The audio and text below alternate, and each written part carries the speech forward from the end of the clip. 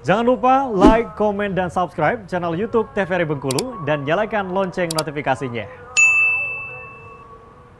Pemirsa, belasan ribu pelajar memadati gebiar literasi media Nusantara Jumat pagi. Mereka antusias mendapatkan edukasi tentang pemilu melalui literasi yang digelar KPID Provinsi Bengkulu. Beginilah antusiasme para pelajar yang ikut berpartisipasi dalam kegiatan Gebiar Literasi Media Nusantara Jumat pagi. Para pelajar ini menjadi target untuk ambil peran menjadi pemilih pemula dalam pemilu 2024. Dengan adanya literasi media seperti ini, para pelajar berharap dapat memberikan hak suara untuk memilih pemimpin yang baik.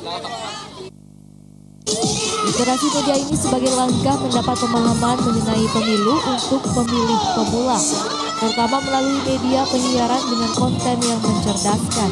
Kami melihat lembaga penyiaran baik TV maupun radio sudah sama-sama memberikan informasi, tapi ini perlu ditingkatkan karena tahapan pemilu masih di bulan November, maka kami masih melakukan koordinasi dengan eh, KPU Bawaslu dan Wapres. Intinya sama-sama kita songsong 2024 dengan baik dan benar-benar menghasilkan kualitas demokrasi yang semakin baik. Sampaikan tadi oleh KPID bahwa bagaimana anak muda, generasi milenial, Gen Z bisa memilih dengan cerdas, menghindari informasi-informasi yang hoak. Artinya apa?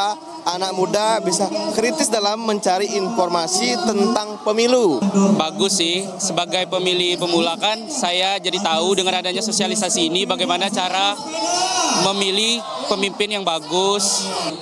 Gebiar literasi media difokuskan untuk menarik pemilih pemula dalam menyukseskan pemilu dengan meningkatkan partisipasi pemilih. Cia Mayangsari, TVRI Bengkulu melaporkan.